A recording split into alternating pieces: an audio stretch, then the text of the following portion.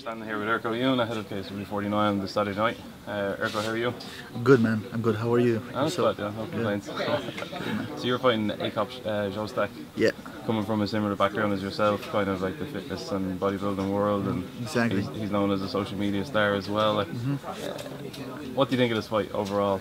Do you think it's a, I think it's just another fight for me. You know, it's my third fight right now, and uh, I just prepare like the last one before. Only this time harder. Every every new fight is a harder preparation, but um, it's just another fight. You know, I don't I don't see that there's much difference than uh, last fights. how, how are you adapting yourself to the MMA, the MMA world? Like you said, you're three fights in there, Yeah. You're becoming more.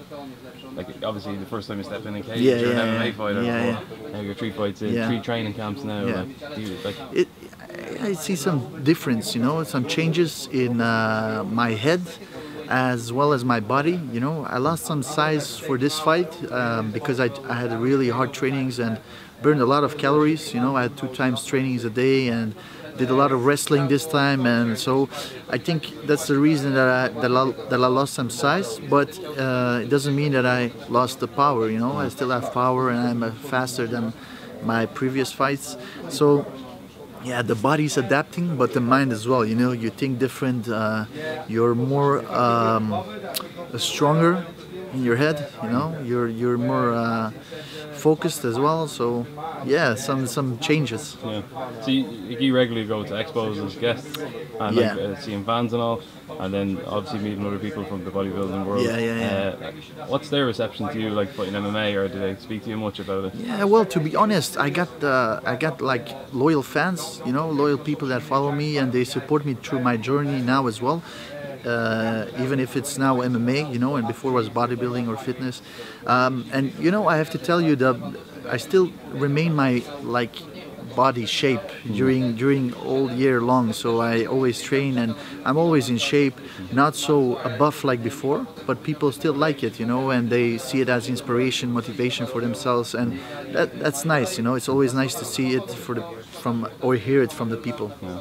So does anyone like uh, like other famous people at expos, do they come up to you and be like, hey, like what's it like MMA training, or like talking yeah, about yeah, yeah. fights? Well, well, it's true, you know. And then you then you see that these people really follow your journey and follow what you're doing, you know. So I've been to, let's say now FIBO in Germany, and uh, I worked there three days, and people were coming to me and asking me when is my next fight and uh, cheering for my next fight. So it's it's kind it's really nice to hear that, you know. So the, support is always nice from the people.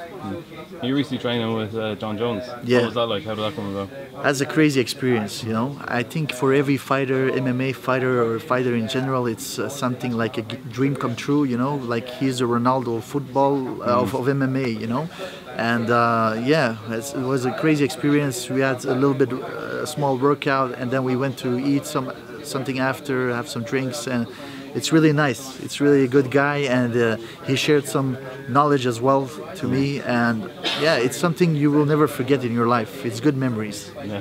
What was it like training with him? Like, what was he? Yeah, he was uh, the, the the biggest, the most important thing that I won't forget. What he told me is uh, sometimes less is more, you know, and that's with training. He showed me like I was like, yeah, why don't you give everything with one shot? Or he said sometimes less is more, and he used this technique, and it was crazy. It was crazy to see him how he moves as a fighter. You know, I think that's unique, and that's what makes him uh, separate to all the other fighters. He's a very smart guy.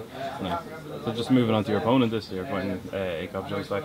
Um, what do you think of him as a fighter? He's, he's, he's shorter than you. Yeah. Um, he's not as big as the other fighters you have you have faced. Like, how are you approaching this fight differently? Well, uh, I think I will experience what it's like to fight a smaller guy in uh, now uh, this Saturday, but I think it's a big advantage for me because my reach is much bigger. Uh, but I still take him a serious opponent. You know, I don't underestimate him, and uh, I take him serious and um, trained really hard for this fight as well because he has some experience with MMA as well but uh, he's like at the right right uh, distance for a high kick or a, a nice knee, you know. Well, we will see. You never know what's gonna happen in MMA, and uh, I'm prepared for everything. Um, have you got a prediction?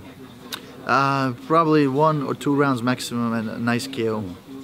What's next for Erko? Ah, holiday. Holiday. Yeah, holiday. MMA wise, what's next? MMA wise, you know what it is like. If I if I go on holiday for one two weeks, after two weeks I'm already tired of it and I want to go back to the gym and train. And now, like let's say the last weeks of preparation, I was like, ah, fuck, I need a holiday, you know. So it's always like I always need to be busy. And this sport keeps me like you always can learn every day. You can learn, and uh, I like the vibe in this sport, and I like the mentality of the of the people around. It's a gladiator sport, you know. That's why.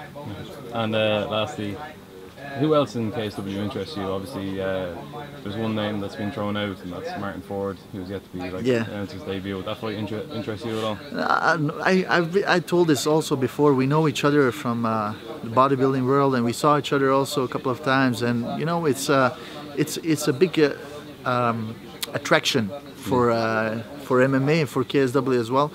I don't think we will join um, in the cage. You know, uh, at, from now on, maybe in the future, you never know. But I'm I'm really uh, excited to see him fight. You know, I want to see what he's doing, and uh, I hope to see him soon as well.